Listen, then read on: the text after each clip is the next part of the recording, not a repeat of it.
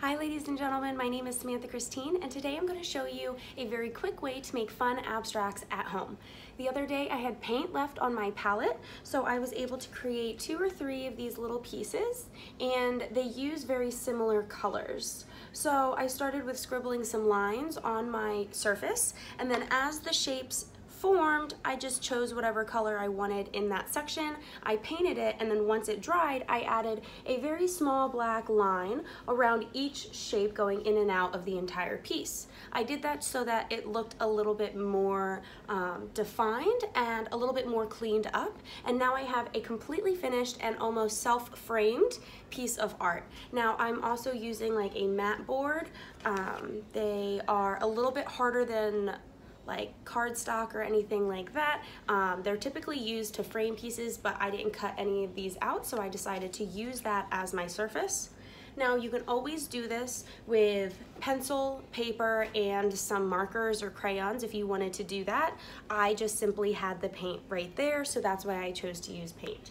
Now last night I had a ton of blues left on my palette, so I just changed the value a few times and used those new colors to have different sections. Now this one I do not have the black line added into yet, but I will show us how I do that at the end of this video and I will use this one as an example. So grab your pens and markers or grab your paints.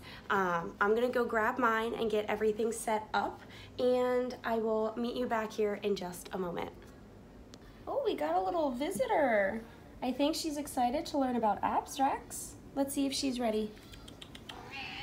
You ready? Pretty girl. You gonna help me get my colors? I'm gonna stay with the theme of using all those blues. So I'm just gonna do a little bit of blue paint and a little bit of yellow. Maybe I can get some greens in there. Those are two of my primary colors. My third primary color is red, but I really wanna stay with this soft, very um, like blues and yellows, almost oceanic. It reminds me of the beaches a lot. So I wanna stay with those colors and I already have my white um, put out. So I'm gonna go ahead and get started. This is the piece I will be working on. I'm gonna first start with my pencil and this is gonna help me kind of block off the corners that I know I'm not gonna wanna go past. It's kind of frame in the surface. Again, they don't have to be straight. I'm not using a ruler. I'm not really worried too much about perfection. And then from here, I'm gonna start at a corner and just start to make fun lines, but not going outside of that frame, staying all within the first shape you made, this outside frame. I don't wanna go past that because then I lose the white space that I have on the two sides and the top and the bottom of my abstract. I'm gonna draw just a couple more in and you can always add or get rid of some as you're drawing. You don't have to keep every line that you started with. So I think those, those are enough lines. I have a lot of nice shapes coming in here and now I'm just gonna go ahead and outline it a little bit with some paint and start adding color. By taking my kind of larger brush grabbing some white and taking it to a new section. Remember, if you don't have a full palette or palette paper, use a paper plate. Honestly, those work just as well. And I'm gonna start with mixing a light color. So remember, you wanna use more of your white and less of that dark color so it really, really gets nice and pastel-y. You want it nice and light so that you can cover this up nicely if it gets in a section of the painting that you don't want it in. Now that's gonna be my first color, so I'm not gonna mix anything else until I need more colors, and I'm gonna go ahead and get started applying this to my abstract.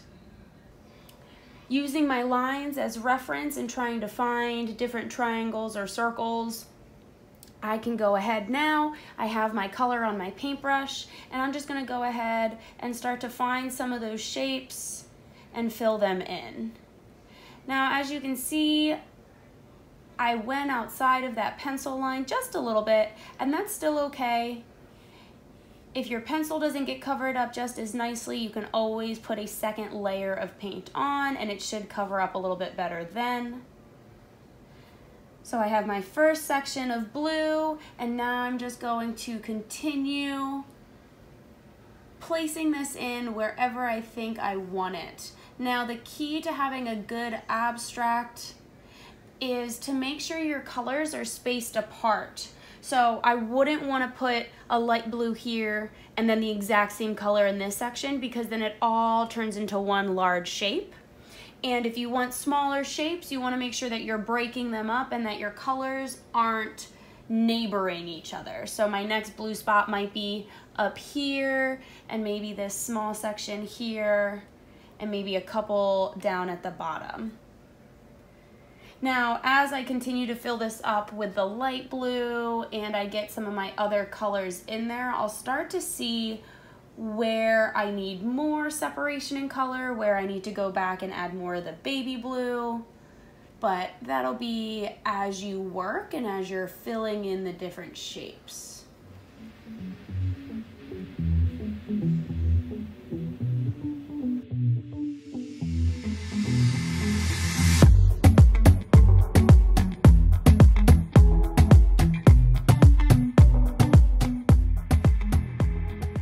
Right now, I don't think I'm gonna add any more of this blue color. I'm gonna stop right there. And I do wanna make sure that when I return to my palette, I clean my brush off. I wanna make sure I get nice and in there, clean off all that dirty color. And then use an empty space on your palette and kind of get off some of that extra water. Now, Normally, if my water was still that blue, I'd go back in there and clean it some more, but I am gonna get a little bit more blue, so it is okay.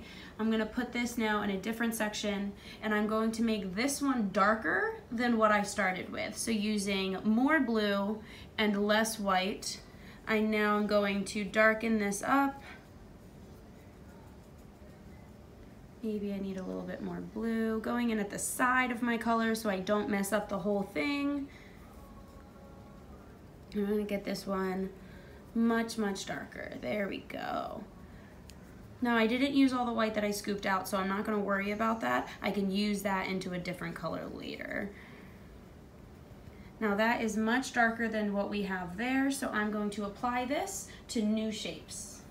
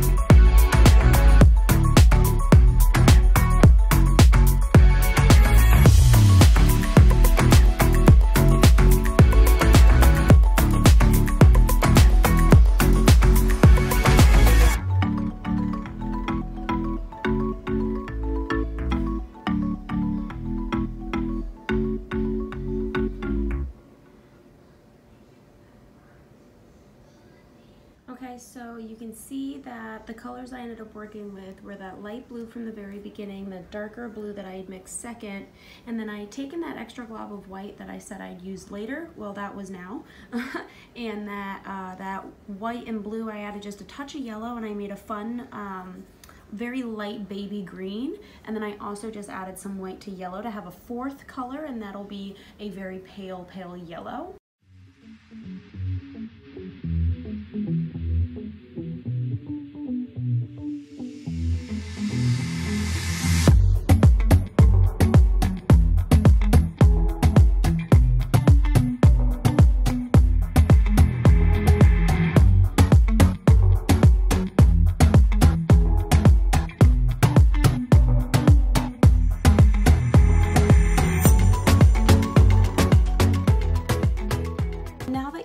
Finished piece, it's really nice to take a step back and see how it all turned out. Where do your colors balance? I actually had to go back. This was one large section of green and we can see here that I went and I cut it in half and added more yellow. When I took a step back earlier, I had all this yellow all on this side and I didn't have anything over here. So I did go back and paint over half of that green square so I could balance out my colors and make sure that it was something that I liked to look at. Now remember your lines don't have to be perfect, your shapes don't have to be perfect. My paint brush marks are even visible in the shapes, which I think kind of gives some texture. I actually kind of like how that looks.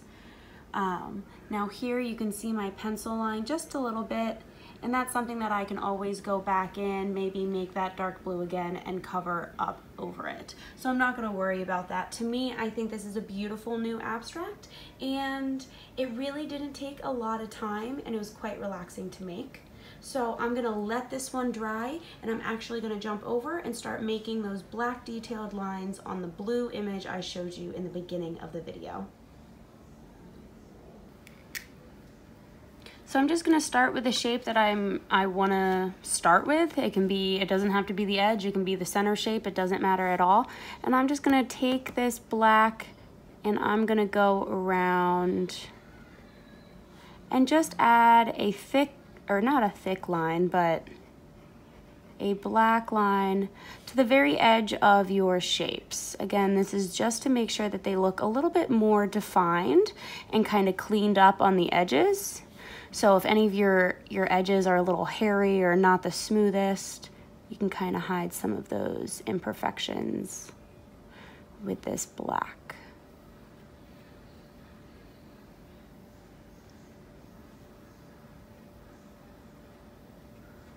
Now I am working on an easel. This might be something that's done a little easier on a flat surface like a table or desktop. Um, so keep that in mind too, where your setup does make a large difference in how your pieces can turn out. But again, I'm not worried about being perfect. I'm just kind of outlining where the colors meet to add a crisp new line. I'm gonna keep working on this and I'll see you at the end.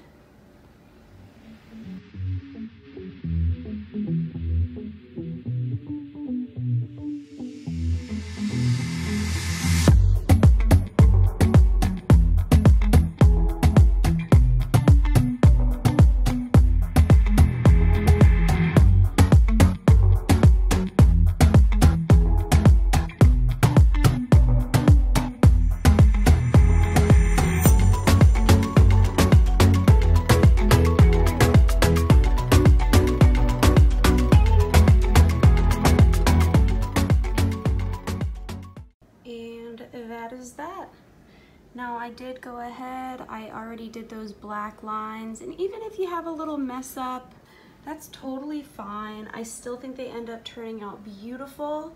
Now I will be adding those black lines to this piece once this bad boy dries, and this was the piece I painted earlier with all of you, so I'll send a finished picture of that one, but as similar as they are, they are drastically different and that's the fun part about abstracts. So always remember to have fun and any mistake can always turn into a beautiful piece. Again, it's been Samantha Christine, and I'm so happy we had this time together. I think we've made some beautiful abstract pieces. I know I'm about to go hang mine up somewhere in the house, so find a spot on the wall, hang up your art, and show it off. I'm sure it is beautiful. Anyways, I will be back next time with another fun art project you can do at home.